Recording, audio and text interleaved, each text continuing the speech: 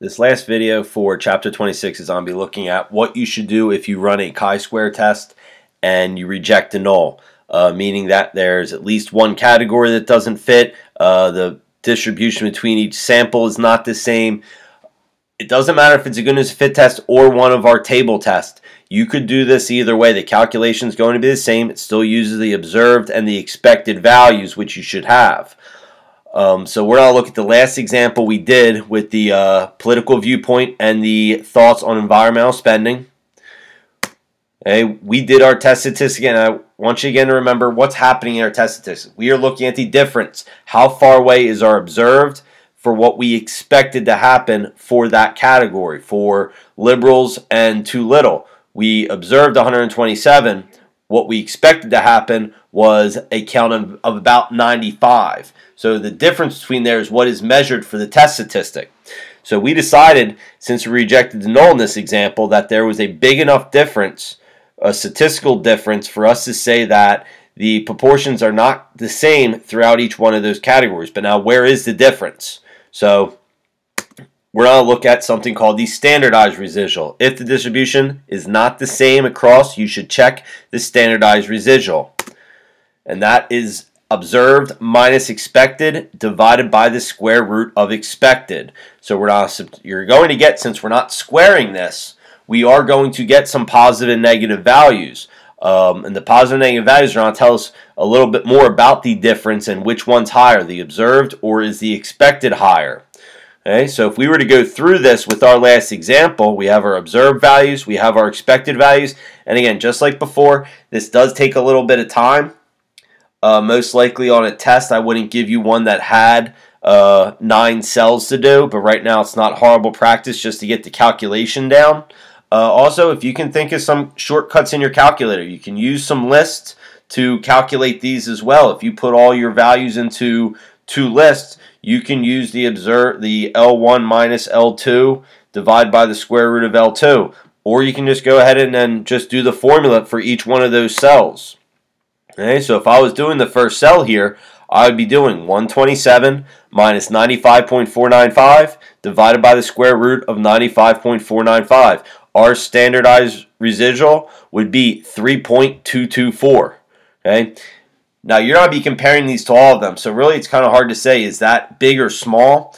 Okay, it is kind of you can kind of look at anything kind of like we did with standard uh, standard deviation. Anything outside of two would be considered a fairly big standardized residual. So 3.224 is fairly big. And we said when I looked at these, 127 compared to 95, that is a fairly big difference. The next cell, 158 compared to 157.11, there's a little closer. The residual is most likely going to be much smaller. So if I did that one, 158 minus 157.11 divided by square root of 157.11, the standardized residual is only 0.071. So an extremely small residual in this case.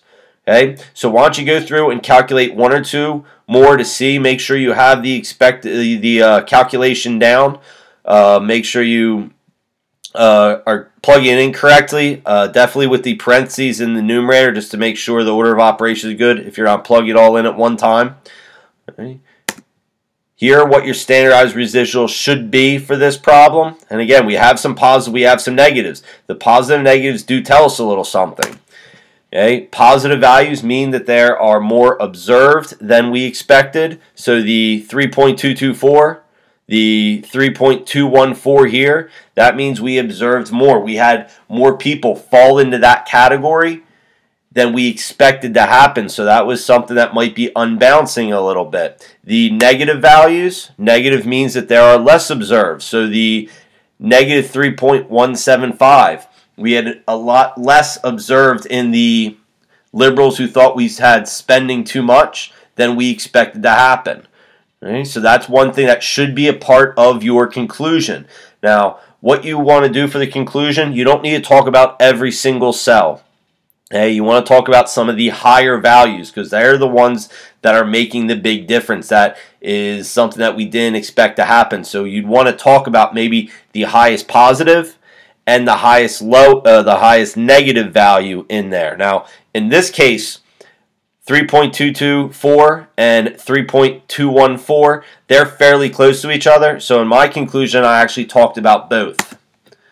The two highest positive residuals show that there were more liberals that think we spend too little and more conservatives that think we spend too much compared to what we expected. Okay, so in both those cases, we thought we saw and collected a lot more people that believed in those two that fit into that uh, category for those two variables than we expected to happen. Now, I also did talk about the negative, so the last part there, there are the fewest liberals who think we spend too much compared to what we expected and the rest of the sample. Okay, so there is uh, what my conclusion would read. Again, you don't need to talk about every single category, every single cell. Just pick out some of the highest values. And you might not talk about the highest positive and the highest negative. Okay, if there's not a extremely high negative, but there is only one extremely high positive, just talk about that one extremely high positive. Okay, you don't you're not forced to talk about positive and negative. Talk about what's going to be obvious. In this case, we had um, some high positive values, some high negative values. So they're the ones that I decided to talk about. Okay, so it's on to your judgment what you want to do, but make sure you're talking about at least one of the values of the highest values. And again, anything above two, in this case, there's a lot that we did not expect to happen. We had a lot of values that were above two, so things were really all over the place uh, for this chart. Okay, so that is the standardized residual. If you reject the null for a chi-square test, it's something you usually should do. More likely than not, I'm going to ask you to do that in part of the question. So if it is a time test, you don't want to spend your time doing it unless you are asked to do it. Okay? So that should be the end of chapter 26.